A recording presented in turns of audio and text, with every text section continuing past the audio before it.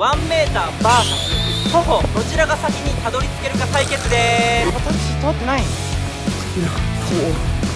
マジでコンこれ勝ったこれめちゃめちゃ入ってる味方で味方でサムですもっちゃんです大崎現場にですおはい願いします今回の企画は、タクシーの 1m vs 徒歩どちらが先にたどり着けるか対決ですよくさこう移動するときに近いけど 1m ぐらいなら安いし乗りたいなとみたいな時あるやん。あるな。でも実際は 1m ぐらいならダッシュした方が早いんじゃないかなって疑問に思うと思うんですよ。いやほんまそうよ。だから今回は僕がタクシー、うん。でもっちゃんが徒歩、俺東北かい。まあ、ダッシュ。ダッシュかい。1キロ先にあるえー目的地。平和の森公園、うん。ここにどっちが先にたどり着けるか、う勝負したいと思います。んよしよーいドンってなってお前も走り始めれるけど俺タクシー拾うところから始めなあかんからなるほどな。ちゃんとタクシーが来てくれるかっていうのも勝敗に関わっ確かに。てくるこれも運ゲーやな。運ゲー。タクシー。1m の方が絶対速いと思うんで勝ちたいと思います。絶対に勝つから俺が。はい。この状態でしばらく目をつぶってうん僕らタクシーの姿がわからないようにして。まあそれはい。ちょっと一回目つぶりましょう。うん。はい。5はい。4はい。3はい2はい。1スタート！怖っ。よし。いけいけいけいけ。あタクシー来い。タクシー。タクシー頼む。タクシー頼む来い。えー、ここタクシー通ってない。頼む。来てくれ。あのすごいいやさすがに。結構スタートダッシュしたから。ちょっと運悪いな。やばいやばいやばい。めちゃめちゃ差つけられてるぞ。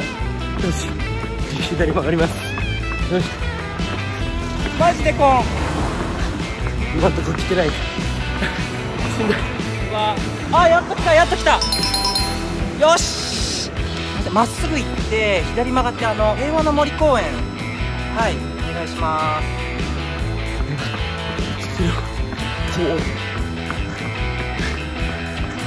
はい。セブンイレブン越えて左であじゃあはもういないかこれ勝った。わこれこれはあいた。ああダッシュしてますめちゃめちゃ走ってる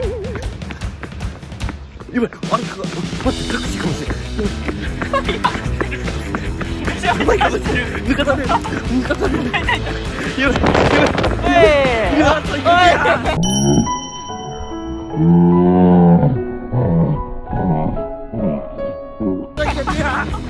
えー、もちゃんを抜かしました。イエーイ。俺の勝ちやったよ。あはい。じゃあクイックペイで。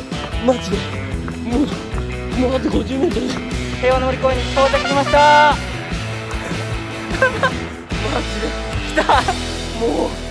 絶対勝ったと思ったわ。